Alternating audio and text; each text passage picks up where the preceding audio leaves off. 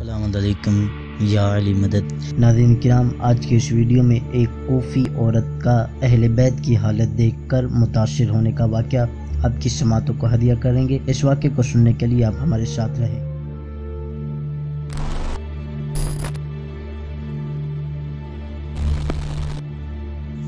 Nadreen किराम हमारे channel जालक के सेगमेंट में हम मोतबर वाक़ात बयान करते हैं, जिन्हें आप मजालिस व महाफिल में भी पढ़ सकते हैं या वैसे भी सुनकर लुफानंदोज हो सकते हैं।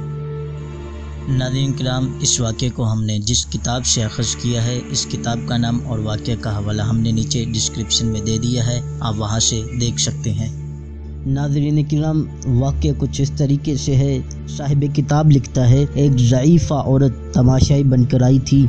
और कैदियों को देख रही थी। अपने मकान की छत पर बैठकर कैदियों को देखकर खुश हो रही थी। इसी असना में कुछ मोहतरमा और मुआजमा खातन को देखा कि जब हिजाब महमलों में ऊँटों पर बैठी थी, परेशानी और नाला फगा में मसरूफ थी। इसी जईफ़ा ने आवाज़ दी, ए दिल शिकस्त और परेशान कैदियों, मिन अयल उसारा तुम किस कबीला और मिलत और शहर के कैदी हो?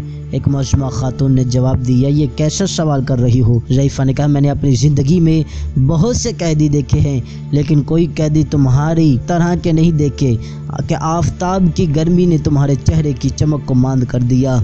गिरसिंगी और तश्नगी के सदमा तुम्हें आए।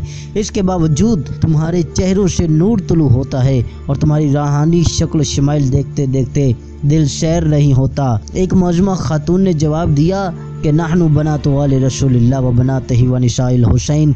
हम रसोल्ला की बेटियाँ हैं, बाज़ खुद पैगंबर की बेटियाँ हैं, बाज़ फर्जंद पैगंबर इमाम हुसैन की बेटियाँ हैं। बस जो ही इस जईफ़ा को इल्म हुआ कि यह आल रसूल है तो अपने दोनों हाथ चेहरों पर मारे और फरियाद की वाह मुसीबता अलीकुम या अहल बैत रसूल हाय अहल बैत पर मुसीबत।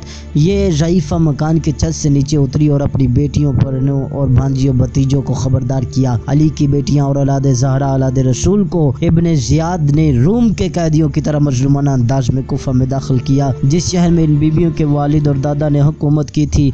उठो और तुम्हारे पास जो लिबास चादरें और मकने हैं, वो लाओ। इन कैदियों के सर पर चादरें मकने नहीं हैं और बेहिजाबी की वजह से ये इस सफ़र में बहुत मुश्किल बर्दाश्त कर रही हैं। जईफ़ा की बेटियों बहनों के पास जो लिबास और चादरें थी, इनको लाई और इन चादर और मकनों को जईफ़ा ने एक खात एक बंद कर दिया और जल्दी से घर से निकल कर कैदियों के पास आई और जनाब उम कुलसूम के करीब आई और आकर, आज जाना, अंदाज में अर्ज़ करती हैं, या सैदती खुजी फस्ती रिहाज है मेरी सरदार, ये लिबास और चादर ले लें और इन सर बरहना औरतों में तकसीम कर दें, ताकि अपना पर्दा बना लें। जनाब जैनब कुबरा ने फरमाया ज़ईफ़ा अगर यह सामान सदक़े के तौर पर लाई हो तो जान लो कि सदका हम आल रसूल पर हराम है। इसी ज़ईफ़ा ने अर्ज़ की, ला या सैदत नमा या हिबतन मिन्नी इलेकुम इन्हा हदिया। नहीं मेरी सरदार बीबी ये सदका नहीं, बल्कि मेरी तरफ़ से हिबा है ये मेरी तरफ़ से तोहफ़ा है ये मेरी तरफ़ से हदिया है। बीबियों ने मजबूरी से वो कपड़े और चादरें कबूल कर ली और अपने आप को महमूद से छुपा लिया। जब शजर बिन कैश इस आरामजादे की नज़र ज़यीफ़ औरत पर पड़ी कि इसने चादरें और लिबास दिए हैं तो ज़यीफ़ा को गालियाँ दी और सख्त गिरकियाँ दी, मगर ज़यीफ़ा इबन ज़ियाद के डर से औरतों में छुप गई।